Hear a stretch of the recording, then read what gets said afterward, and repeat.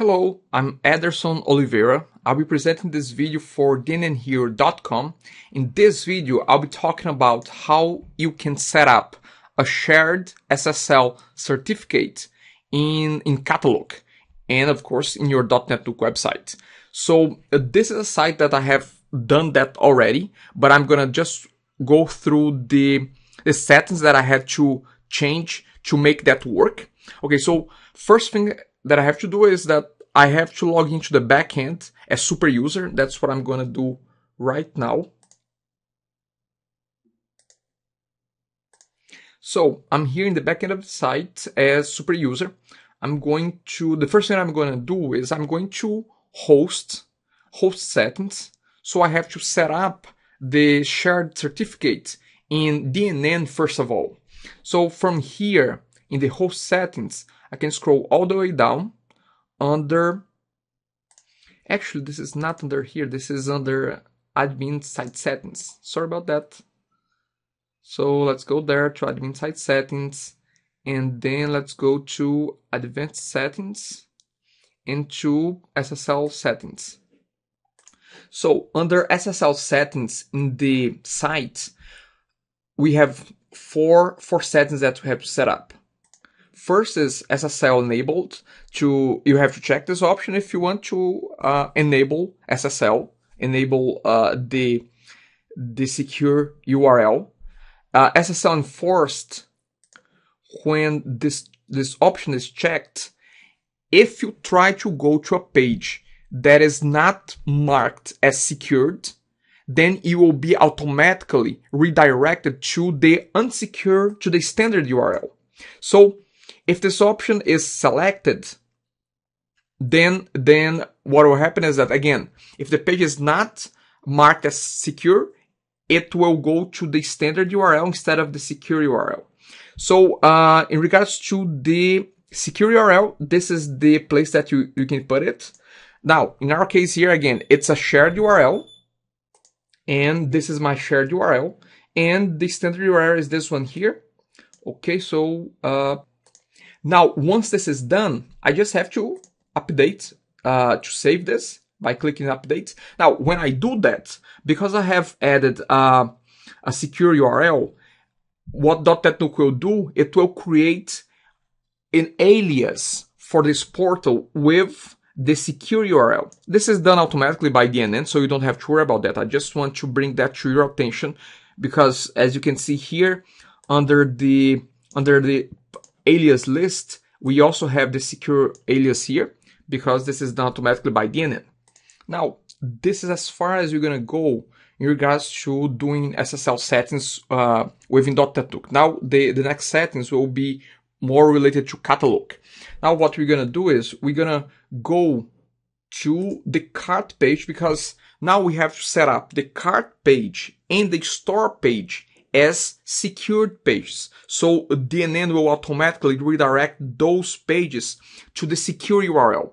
So what we're to do, we're to go to the cart page first of all. So let's go to let's go to the home page and then there's a cart link there. Here's the cart link. So we have to set up the cart page as a secure page. Okay, this this page here we have to set up it as secure page. Now, before we go and do that, let's go to, let's select edit here at the top to make sure that we are in edit mode. And there is one setting under the, the cart module that you may be tempted to check that. If, if you, we are here in the cart module, and if we go to the action menu, just go to view options, and then there is a there's a, an SSL option there called, and let me see if I can find it. See, here it is. Redirect credit card data form to SSL, HTTPS. Now, you must, you, you might be tempted to check this box here, but you should not do that because we are not using, uh, we are using a shared SSL. We are not using a private SSL. So you should not check this box if you are using a shared SSL as we are using now. But if you are using a, a private SSL, then you can definitely check this. And the difference is uh, that a private SSL will have your domain name will have the same domain name. The only difference it, it will be that it will be HTTPS instead of HTTP, and it will be the same domain. Now, a shared SSL is a little bit different. It has a different uh, domain as compared to your original domain. So in our case here, we are setting up a shared SSL. So you should not check this option here. Now let's go back to our cart page. So from here, we are in the cart page. From here, we're going to go to settings of this page. And under settings, we should go to advanced settings. And then we should check secure.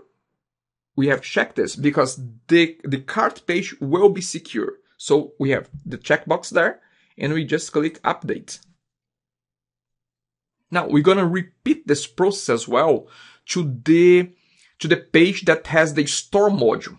So we're gonna we're gonna secure two pages. One is the cart page, the other one is the store page. So let's go back here. And let's go to our store page. Let's go to the home page. Let's click one of the products. So I'm gonna click buy it now. No, sorry. Yes, that's buy it now. So here is the store page. And in this case, it's showing one specific product, but this is the store page at the end of the day. So let's go to the settings of this page as well and do the same thing here. Settings, and then scroll down, click advanced settings, scroll down, and then let's go to secure, check this option, click update, and we are pretty much done here.